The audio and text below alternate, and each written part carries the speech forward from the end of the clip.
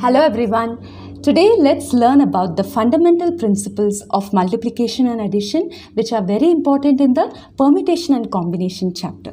So let's start with an example. So a hill station has two waterfalls and four gardens. A tourist wants to visit a waterfall and a garden. Note the word and we are using. The tourist wants to visit both the waterfall and the garden. Okay. So in how many ways can he choose? Okay. So let's name the waterfalls as W1 and W2 and there are four gardens. So let's name this as G1, G2, G3 and G4. Now suppose the tourist starts by visiting W1 waterfall. Now after he visits W1 he has to visit a garden. So suppose he either can visit G1, G2, G3 or G4. So how many combinations have we got? W1, G1 is one combination. Now why is this together? Because he has to visit both the waterfall and the garden friends. That's why we have combined it. So W1, G1, W1, G2, W1, G3 and W1 G4. So here I have four choices. However, he can also opt to go to W2 waterfall. In that case also, after he visits W2, he has to visit garden. So he, he will visit either G1 or G2, G3 or G4. So again, how many combinations? Yes, we have got again four combinations. Let's list them down. So totally friends, in how many ways can he choose? He can choose in eight ways. So he can visit a waterfall and a garden both in eight ways. So what we have just now demonstrated is also known as the fundamental principle of multiplication. So shall we see what is the principle? So friends, this is the statement of the multiplication principle. I'll compare it with the example so that we can understand this better. Now, it states that if there are two jobs, so here also we have two jobs. What are they? The first job is visiting the waterfall and the second job, can you tell? Yes, it's visiting the garden. Okay, there are two jobs such that one job can be completed in M ways. So, visiting the waterfall can be completed in how many ways? two ways because there are two waterfalls. So my M is 2. Now after it has been completed in any one of these M ways, the second job that is visiting the garden can be completed in N ways. Now there are four gardens so I can visit the garden in four ways. So my N is 4.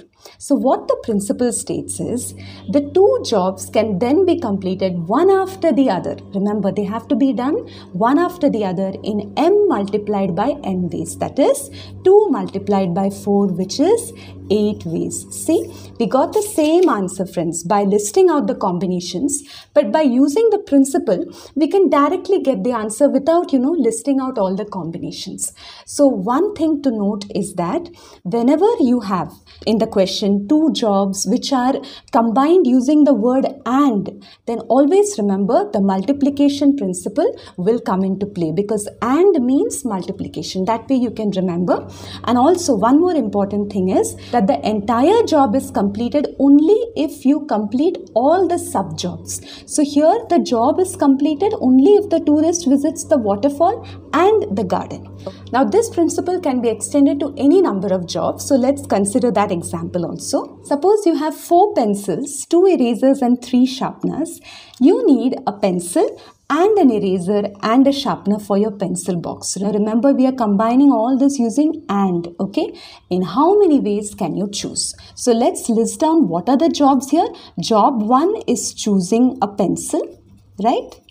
Similarly job 2 is choosing an eraser and job 3 is choosing a sharpener. We have to choose a pencil and an eraser and a sharpener. So wherever and comes, what should you do? You should use the principle of multiplication that is multiply the different choices. Okay, so I have four pencils. So 4 multiplied by 2 multiplied by 3 which is nothing but 24. So there are 24 ways of choosing the pencil, eraser and sharpener. So friends I hope the multiplication principle is clear. Now let's also see the principle of addition. So let's consider the same situation where the hill station has two waterfalls and four gardens, but now the tourist wants to visit a waterfall or a garden. Note the word or we are using.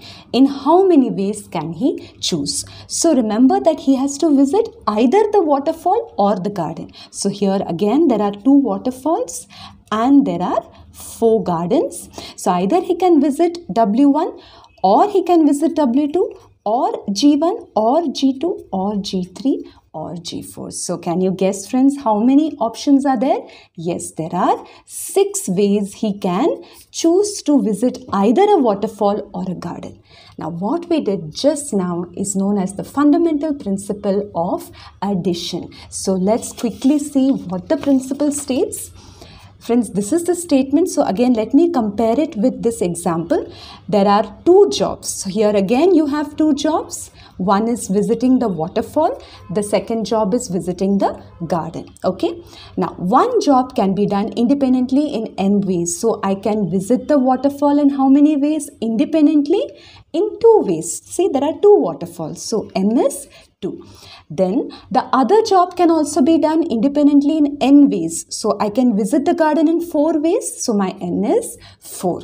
Then what the principle says is either of the jobs can be done in n plus n ways. So 2 plus 4 that is 6 ways I can visit either the waterfall or the garden. So without listing out the combinations just by using this principle I have got the same answer friends. So I hope you understood this principle. The main thing to remember is the keyword or. Whenever you have the jobs connected by or then always remember to use the principle of addition. Also, the entire job is completed if one of the jobs is also completed. You don't have to do all the jobs. Again, this principle can be extended to any number of jobs. So here is the same example as before, but now you need to choose a pencil or an eraser or a sharpener for the pencil box. Note the word or that is being used. So in how many ways can we choose? Yes, we have to use the addition principles. There are four pencils here, two erasers and three sharpeners. We have to choose only one of them. So 4 plus 2 plus 3 which is 9 friends. So there are 9 ways of choosing one of these items for the pencil box. Remember and means multiplication and or means plus sign. So if you found this video useful, do like and share the video. Consider subscribing to Enjoy Math and please leave your comments in the comment section below. So till we meet again, take care.